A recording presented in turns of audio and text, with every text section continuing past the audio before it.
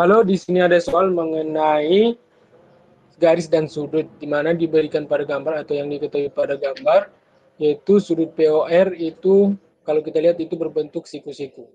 Di mana sudut POR itu akan kita peroleh dengan menjumlahkan sudut POQ ditambah sudut QOR itu nanti akan sama dengan sudut daripada POR.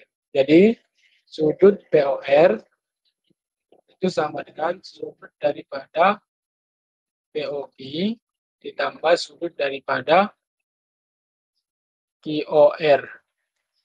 Nah, di sini kita akan menentukan nilai X-nya berapa gitu ya.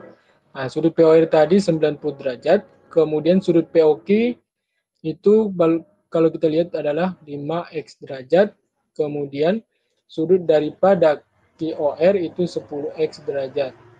Nah, ini tetap 90 derajat, kemudian kita jumlahkan yang ini jadinya 15x derajat. Maka kita pindah luaskan 15-nya, maka 90 derajat dibagi dengan 15 akan kita peroleh nilai x.